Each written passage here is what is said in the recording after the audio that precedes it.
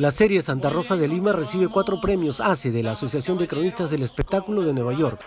La serie, que es ambientada en el siglo XVII y costó cerca de 200 mil dólares, fue escrita y dirigida por Rubén Encián. Muy emocionado por el reconocimiento y aquí en Nueva York, que es un sueño para todo productor y director, pues aquí donde está la meca del cine, el nacimiento de tantas artes, eh, podamos ser premiados y reconocidos por esta serie Santa Rosa Lima.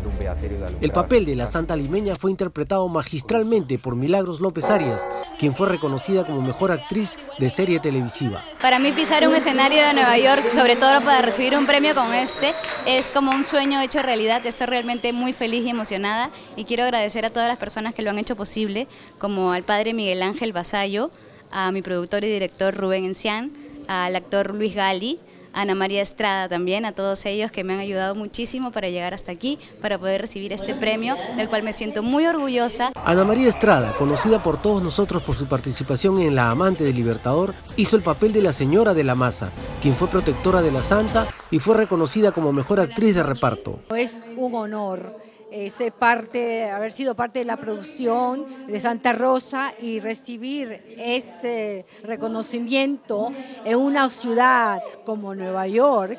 Realmente uno se siente feliz, contento que el trabajo de uno es reconocido. Y para todos en Perú sigan soñando, eh, sueñen en grande, porque los sueños se hacen realidad.